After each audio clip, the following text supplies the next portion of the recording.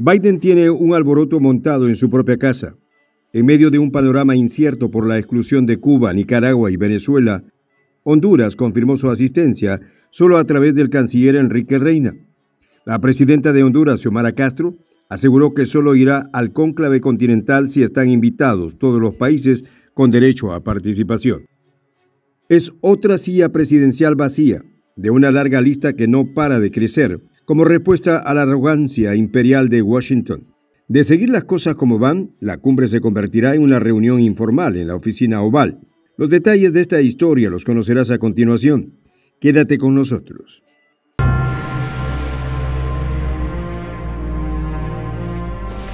Voz de la Patria Grande.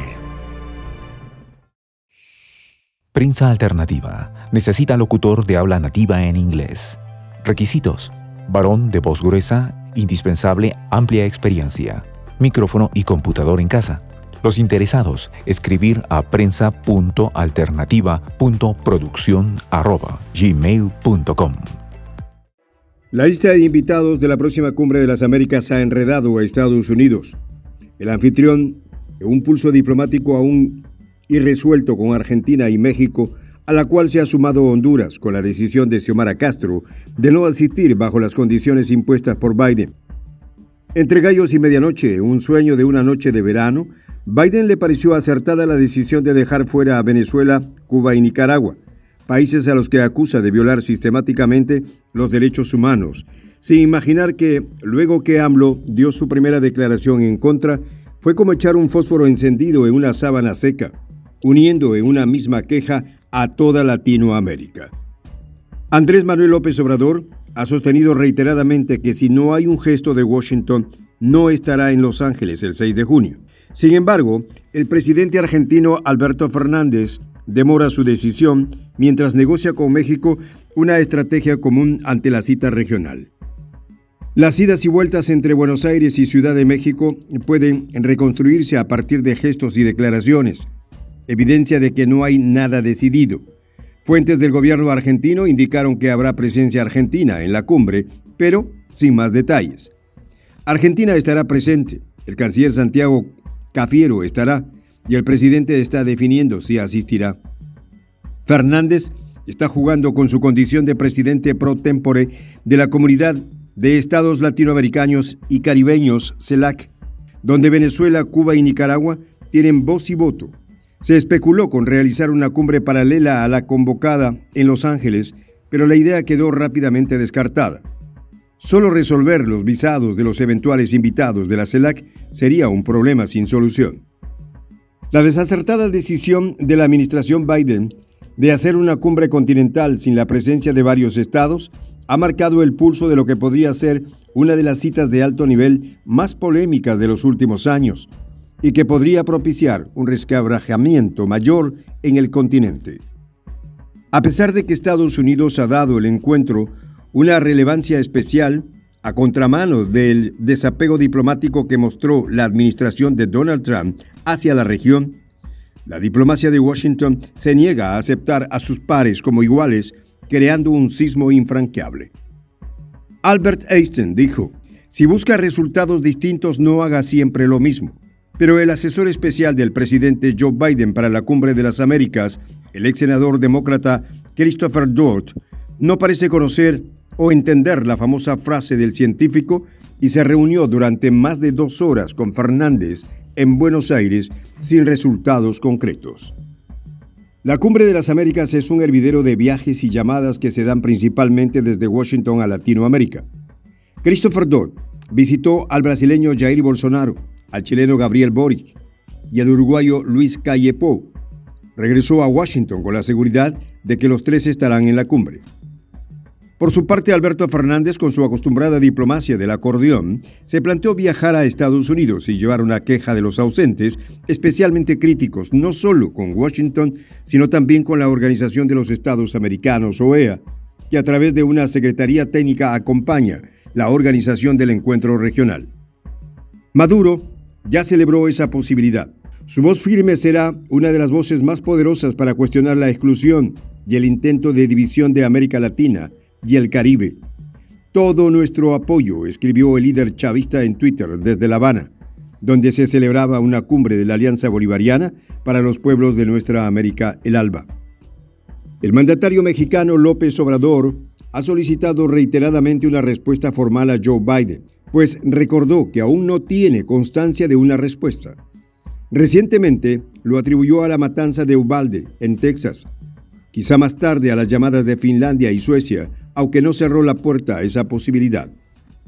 Yo creo que por esta circunstancia el presidente Biden no ha podido darnos una respuesta. Pero hay tiempo, le tenemos confianza y vamos a esperar, afirmó AMLO. En todo caso, México estará representado por una delegación encabezada por el secretario de Relaciones Exteriores, Marcelo Ebrard. El canciller Ebrard ha multiplicado en las últimas semanas los contactos con el secretario de Estado, Anthony Blinken, con el embajador estadounidense Ken Salazar, y aparte de su equipo lleva semanas afinando los detalles de la agenda conjunta con Washington. México está especialmente interesado en alcanzar acuerdos previos en materia económica, migratoria, sanitaria y de seguridad. El gobierno de López Obrador no está en condiciones de obviar determinadas peticiones de Estados Unidos, del que depende su estabilidad financiera, pero al mismo tiempo quiere mirar hacia el sur y el presidente hasta planteó la discusión de un nuevo orden regional alternativo a la OEA. México, en definitiva, hace equilibrios ante la cumbre de las Américas con estas premisas, la semana pasada Ebrard abordó la celebración del cónclave con el canciller argentino Santiago Cafiero. Entre el 6 y 10 de junio, Estados Unidos acogerá en Los Ángeles el noveno encuentro continental que tuvo su primera edición en 1994, cuando se efectuó en Miami. Se propuso desarrollar una visión compartida en torno al tema de la reunión, construyendo un futuro sostenible, resiliente y equitativo, abordando temas como la migración irregular considerada como un asunto particularmente grave. Sin embargo, las pugnas en torno a la reunión continental auspiciada por Washington han puesto en entredicho el tema central del evento, el cual estaba lejos de los ánimos encendidos por la discriminación, el tratamiento desigual que se ha mostrado ante Ucrania respecto a Latinoamérica y sus migrantes, además de los efectos inflacionarios boomerang de las sanciones a Rusia. Dos visiones continentales se confrontan, pues los días previos a la Cumbre de las Américas, un encuentro diplomático que supone la presencia de todos los países del continente, ha mostrado el pulso entre los gobiernos que defienden la diplomacia y el respeto a su soberanía bajo el espíritu de la patria grande y los que aún se arropan bajo los intereses hegemónicos de Estados Unidos. Pero como no hay peor cuña que la del mismo palo, la Casa Blanca decidió prohibir la participación a Cuba, Nicaragua y Venezuela, tachados como gobiernos que no cumplen con los estándares democráticos. La medida rechazada y ampliamente criticada por los gobiernos apartados indignó a otros estados que se manifestaron contra el viso de autoritarismo mostrado por la administración de Joe Biden. Con la delicadeza que caracteriza a un elefante que cruza por una tienda de lámparas de vidrio, el coordinador de la cumbre, Kevin O'Reilly, señaló que de ninguna manera se extendería la invitación a los presidentes de Venezuela y Nicaragua, y con respecto a Cuba aclaró que todavía no tenían una postura concreta, ya el daño era irreparable. El que tiene tienda que la atienda. La tajante decisión de la administración Biden de hacer una cumbre continental sin la presencia de varios estados ha marcado el pulso de lo que podría ser una de las citas de alto nivel más polémicas de los últimos años y que según analistas ha puesto en juego la influencia de Estados Unidos en el continente, sobre todo ante la apertura de este a otras potencias como Rusia, China e India. Ya hace algunos años que el planeta es multipolar y en ese contexto los Estados Unidos han perdido mucha fortaleza, sobre todo en términos económicos, y eso ha provocado un declive de la hegemonía estadounidense en el continente americano. Esto no quiere decir que su autoridad acabe de un día para otro. Sin embargo, error tras error, Washington va camino a su destino. Tras mantenerse la negativa de la Casa Blanca, el presidente mexicano radicalizó su discurso y cuestionó la finalidad del evento. ¿Va a ser cumbre de las Américas o va a ser cumbre de los amigos de América? Dijo. ¿Será esta una prueba al liderazgo de AMLO y del resto de presidentes que abogan por la patria grande? ¿Se repetirá el fenómeno de la cuarta cumbre que sepultó al alca de George Bush? Soy el J, Juan José del Castillo, director del canal Prensa Alternativa. Si quieres ser parte de la comunidad de la Patria Grande, suscríbete a nuestro canal. Si es que quieres que te lleguen las notificaciones cada vez que subimos un video, activa la campanita. Si quieres apoyar a nuestro canal económicamente, puedes hacerlo a través de PayPal. El enlace está en la descripción del video. A nombre del equipo de prensa alternativa, me despido con esta expresión en el quechua milenario. Tupananchis Kama, cuya traducción es hasta volvernos a encontrar.